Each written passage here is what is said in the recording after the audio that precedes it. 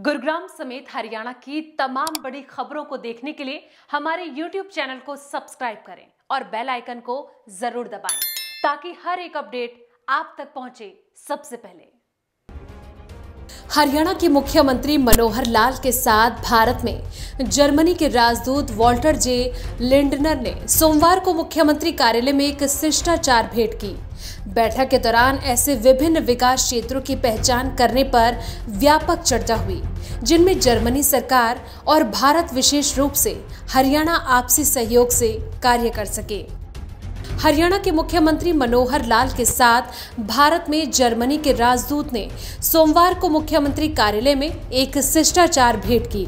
इस मौके पर जर्मनी के राजदूत ने परिवार पहचान पत्र और फ़सल विविधीकरण योजना के विशेष संदर्भ में राज्य सरकार द्वारा शुरू की गई विभिन्न कल्याणकारी योजनाओं की जानकारी ली। मुख्यमंत्री ने उन्हें बताया कि परिवार पहचान पत्र योजना के तहत एक ऐसी प्रणाली विकसित की गई है, जिसमें प्रत्येक परिवार की एक इकाई के रूप में पहचान की जाती है। ताकि पात्र परिवार सरकार की कल्याणकारी योजनाओं का सीधा लाभ उठा सके।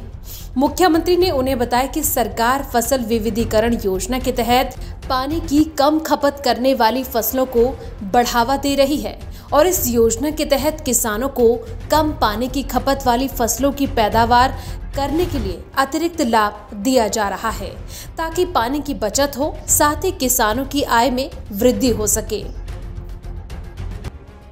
चंडीगढ़ से वी न्यूज़ के लिए कुमार रमेश की रिपोर्ट।